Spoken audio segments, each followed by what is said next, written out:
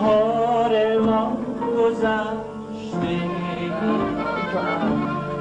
خودش هم ایشون 23 سال است که یا 24 ساله 23 ساله مشخصا که فرزندش که اون روح الله از نام بیزار بود. از وقتی خود شناخت یه نام دیگه داشت. حتی در ایران وقتی که بود مغازه داشت و کار می‌کرد و اینها هم نامش و هم فامیلش عوض کرده بود. فامیل شاله بگذاریم نامش گذاشته بود نیما. میگو ما میگیم نیما. یا یا دو تا نام دیگه هم داشت.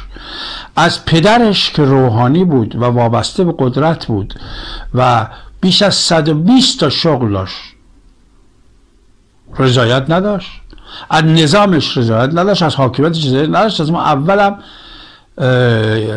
می‌خواست در کشورش تغییر به وجود بیاره.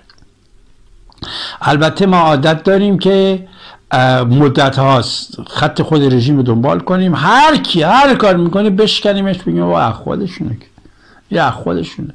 اینا رو خود جمهوری اسلامی میگه میندازه تو دهانی های معتبری که اونا میره میگن. بعد جریان همین میشه که شما 42 ساله به رژیم گیر کردی. هر کس اومد گفتی با مال خود امیر انتظام مال خودشونه.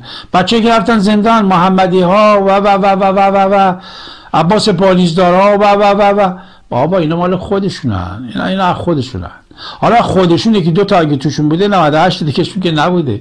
حالا این بچم الان که دیگه کشته شد اعدا آقا این جسدشو بیان نشون بدن جسد چی بیان؟ از خاکشو نشون بدن اینه این چرت و مال کار خود نظام جمهوری اسلامی سر یادتون نه نظام جمهوری اسلامی آدمای ابله نادان حتی امکان داره او پروفسور باشن مهندس باشن شخصیت باشن. اوه اوه. پخ داشته این شعور اطلاعاتیشون شعور چیزیشون خیلی صفره. من در کتاب سازمان جاسوسی الله او سالها پیش نوشتیم کجا میگن هن میگن اوباما مال ریبا رژیم اوباما. باگی نگفتید مگه نمیگید ولی عکسشه. بدبخت. ببخشید بیشور. عکسشه. اوباما با اینا نیست. ای اینا با اوبامان. اینا مزدور آمریکان. اینا مزدور چینن. اینا مزدور روسیان. اینا مزدور همون ترکیان. اینا مزدورن. فرق بین این با آن. حواستون چی شد؟ حالا همه من مقاله نوشتم در این کتاب که آره اوباما میگم حالا ماست خوب قدرت خودشو بیشتر نشون میده تا تو بیشتر سرکوب کنه. که نباید تسلیم بشی. حالا این از وقتی که اومد شما در نظر بگیرید که کارهایی که ایشون کرد طی این چند سال با همین رسانه بعد از اینکه از سهام نیوز اومد بیرون رو مستقل شد خیلی مهم بود. کاراش خیلی مهم بود. یک نظام جمهوری اسلامی پوشالی رو لرزون کارهای بسیار مهمی که کرد از همه مهمتر. وقتی که ما طرح کردیم که این این ربات هست خامنه ای این خودش نیست خامنه ای این رو ساختن گذاشتن. سریع اینو گرفت و بعد از چند وقت اومد های میرزا تاهری هاش تاهری نمی‌دونم کی ساخت و گفتی تاهر خانه و میر تاهری فلانه خامنه نیست و ثابت هم کرد خامنه نیست. که گوشش و قدش اینو درست هم بود. این خامنه و خامنه نیست. یه ربات درست کرد. حالا ایشون اسم هم روش خودش ایراد نداره. خیلی مهمه.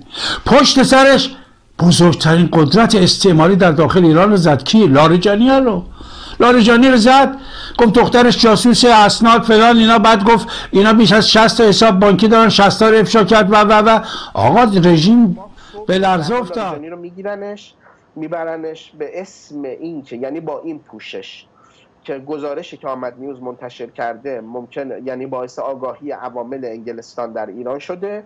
و ما به خاطر اینکه زهرا لاریجانی ترور نشه توسط عوامل جاسوسی انگلستان در تهران ما بعد رژیم رو وادار کرد که بخواد تلگرام رو ببنده. یه بار بهش حمله کردن سایتش رو اصلا صفحه دوباره اون بعد دیدن تلگرام رو نمی‌تونن ببندن چون تلگرام استعمال ساخته که سر شما رو گرم کنه نمیاد ببنده که به اومدن تلگرام میهنی ساختن اسمش گذاشتن سروش. که جاین بگیر. نگرفت. الان خودشون دوباره برگشتن تو این تلگرام. خیلی کارهای بزرگی کرد. از جمله جریان سعید توسی رو اون مطرحش کرد. سعید توسی رو اون مطرحش کرد که این و بعدم الان که هنوز که هنوز داره راه میره پروندهای زیادی علیش تشکیل شده شکایت کردن که بچه بازی کرده چه کرده. ولی چون آخونده همشون بچه بازن همشون این کارا تو رسانه هاشون هم براش قانون در آوردن تو در جریان تحقیقات و اینا فهمیدیم که خود آقای خامنه ای بهش یه خونه ای داده توی خیابون فاطمی که این موقعی که از مشهد میاد تهران میره توی اون خونه و آقای خامنه ای شبایی که سعید توسی میاد تهران چون خیلی بهش علاقه دارن میاد اونجا و بدونه یعنی از کارهای بزرگی کرد. بعد از این مهمتر وقتی که بازداشتش کردن گرفتنش تو دست دشمنه و خودش وقتی ازش می‌پرسی رو میگه خب تو اگه قاضی بودی برای خودت چه حکم بودی میگه معلومه حکم من اعدامه. خب که نمیترسید. قبلنش هم گفته بود که آقا تو پاریس که بود گفته بود من خوب مردانه بمیرم. نام آدم با شرافت آدم بمیره. اشکال نداره. می‌خوای کشته بشی با شرافت نه آدم ذلیل بمیره. و بعد اونجا یه وقتی ازش می‌پرسی میگه تو این اختشاشاتی که راه مینداختی چون چند از تظاهرات بزرگی تو ایران رو هم همین آمد میز ایشون رو انداخت. میگه که نه شما میگی اختشاشات. ما به اینا میگیم اعتراضات. بالاخره اختشاشات شما میگین اختشاشات. ما میگیم اعتراضات. اعتراض مردم. اعتراضات بود اعتراض مردمی. بود. خب حالا این بچه رو زدن کشتن و ما دیدیم که همون کسی که باباش اسمی می‌ذاره روح الله ای از نه که روح الله از اسلام از همه چیز متنفر بود. از همه چیز متنفر بود و یکی از شخصیت هایی که در ایران هست آدم بسیار مهم و هنرمند و سیاستمداری است من اسمشون نمی‌خوام بیارم. ایشون پیش من بود یک شب. تا دیر هنگام که زم نیز با آنجا اومد و با هم بودیم تا نیمه شب یعنی خودمون بودیم و مشروب می‌خورد. مشروب. و اونجا جلو اون شاهد و پیش از اون بارها بارها گفته بود که نه تنها از روحانیت و لباس پدرش و اینا متنفره که از اسلام متنفره. درست مثل احمد رضایی که اون رو برگردون در ایران و کشتنش شما شنیدین چجوری. پدر بی غیرتش هم اونجا نشسته.